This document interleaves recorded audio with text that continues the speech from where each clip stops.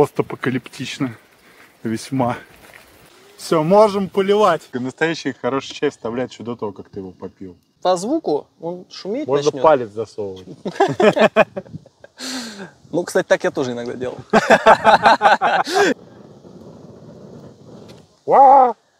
Принцип много не мало, нам еще обратно 20 км ехать. Он заварится настолько сильно, что перестанет выливаться через носик от плотности. И придется пялкой черпать прямо сверху. Вроде как он обычно тонизирующий, но я не почувствовал, чтобы он тонизировал. Возможно, надо было больше сыпать, возможно, надо было дольше пить. В следующий раз попробуем обязательно.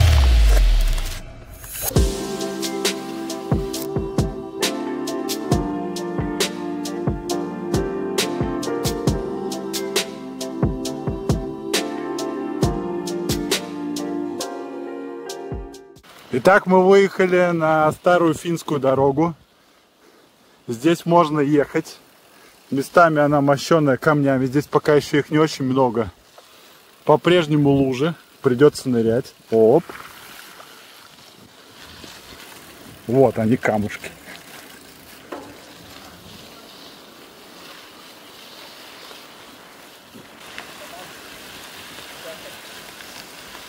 Ну что, друзья, я навострился снимать на ходу. Все, можем поливать. Так, мы нашли вход на заброшенную военную базу или что-то такое. Мы несколько раз уже проезжали мимо, но сейчас мы заедем внутрь и посмотрим, что там происходит. Немножко напоминает кадры с какой-нибудь Припяти. Постапокалиптично. Весьма.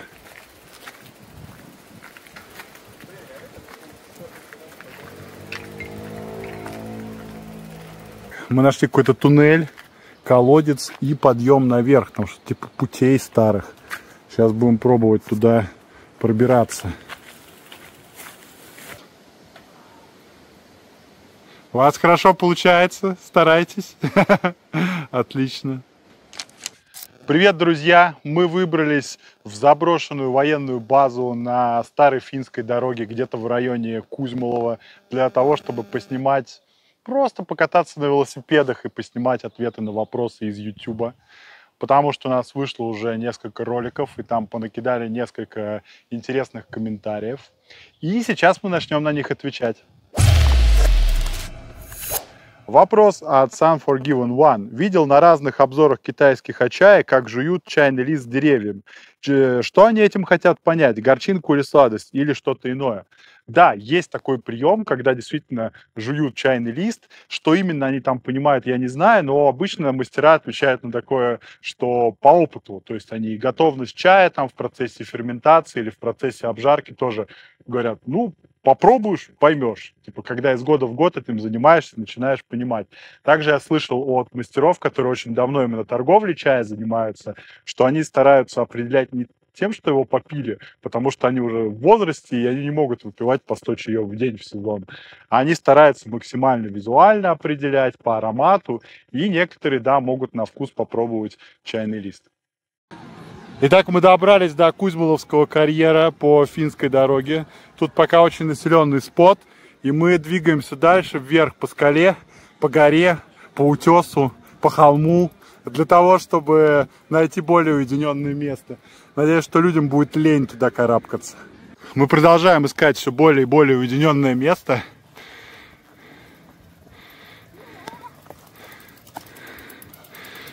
Так, еще один.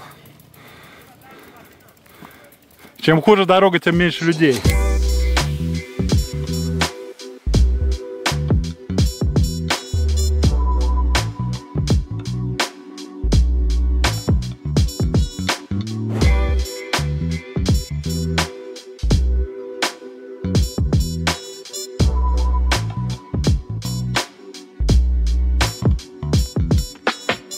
Итак, э, мы сейчас добрались до спота, нашли местечко, которое не очень ветреное и нету кучи людей, мотоциклов и играющей музыки. И будем сейчас э, делать чай аутентичным способом, кипятить его вот в таком вот чайнике, видавшем виды на углях. Вот, сейчас мы разожжем небольшой костерок, сделаем угли и поставим на них чайник, а потом сварим на нем пуэрский и поотвечаем еще немного на вопросы.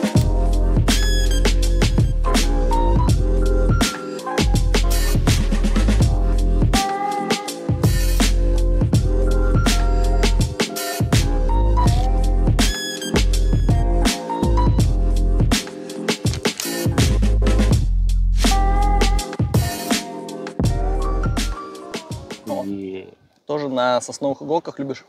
Да, у меня всегда либо береста, либо иголки, но в последнее время из-за того, что я в Карелии, Мгм. иголки доминируют. Да, с берестой там грустно. Просто при всем, казалось бы, примитизме метода, там нужны особые палки и по, по возможности еще веревочка. А у меня, по-моему, ни хрена не получилось по итогу. У меня тоже. Итак, друзья, у нас с собой есть и угушу, наш самый любимый, еще самые первые бачи, то, что нам приходили в Питер. Я их еще с тех времен вылеживаю дома. А, также у нас вот этот вот чайник. Поскольку нам не на что его вешать, и мы не будем ничего сооружать, мы сейчас в костре раскопаем ямку, когда он немножко прогорит, и просто поставим его на угли. Зальем туда немножко водички и сварим чаек. Кажется, как будто уже можно начинать. Да, Так.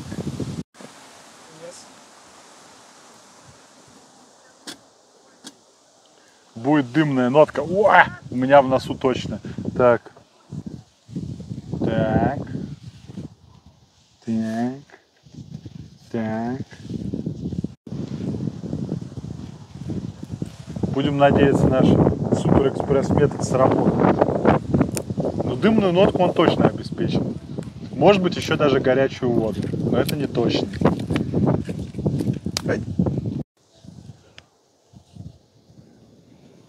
Потом, Это- если, если я испачкаю штаны в арахисовой пасте, в комментариях. Уа! А, Я вот думаю, что не очень понятно, как, когда он закипит, потому что у нас тут жар достаточно сомнительный. Ну, на самом деле, по этому чайнику обычно проще всего определить, подняв крышку, и там обычно ну, видно пузырики, там жемчужные нити, вот это все. Пока он не особо собирается, судя по всему. Не, не, но он нагревается, по крайней мере. Вот, а дальше там по звуку он шуметь Можно начнет. палец засовывать. Ну, кстати, так я тоже иногда делал. Особенно, когда вода еще не очень горячая, ты пытаешься понять, он вообще нагревается или нет.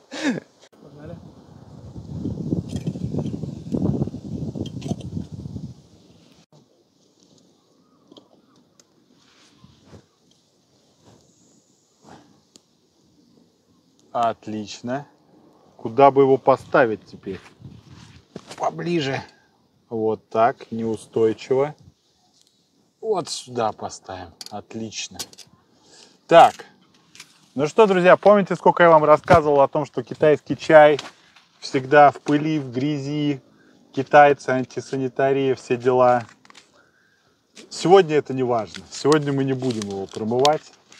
Потому что говорят, что если ты ехал по лужам с крыльями, то твои баллы замороченности на сегодня уже потрачены. Продезинфицируется. Сыпем на глаз. Принцип много не мало, нам еще обратно 20 км ехать. Ну что, мы засыпали. У нас есть полные чашки золы, э, ошметков дров и песка с Кузьмоловского карьера. Они отлично дополняют непромытый пуэр. Поставим его еще немножко на угольки, чтобы еще больше дымной нотки было. Опа.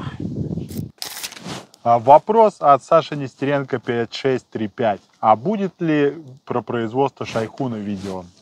Итак, мы как раз, когда были на горе, нам рассказывал и наш э, СГ, фермер Суху, и жена капитан Пуэра с Мансуна, что они делают шайхун. Но, к сожалению, мы не попали на сам процесс производства. Почему? Потому что шайхун его как раз-таки делают с более позднего сырья. А это был еще конец как бы ранневесеннего сырья, несмотря на то, что это апрель. Вы спросите, почему ранневесеннее сырье в апреле? А потому что со старых деревьев, особенно высоко в горах, оно может в апреле чуть ли не первый урожай давать. Вот. И поэтому с первых вот с этих ранних сборов с них всегда делают шен. А если делают шайхун, то только по специальному заказу каких-нибудь северян, которые очень захотели. Так что, глядишь, в следующий раз, когда мы поедем в Юнань попозже, мы сможем лицезреть, как таки производится шайхун. Это будет очень интересно. А, Мы проверили, насколько настоялся чай, и пока что вообще не крепкая, но очень вкусная. Я недавно буквально пил ушку, и она не так круто раскрывается при обычной заварке в гайване. Вот, но это костер, дымок, все дела, живой огонь, вся и прочая эзотерика. Так вот, я думаю, что в плане силы заварки единственное, чего можно опасаться, это только то, что он заварится настолько сильно, что перестанет выливаться через носик от плотности. И придется пялкой черпать прямо сверху. Настоящий хороший чай вставлять еще до того, как ты его попил.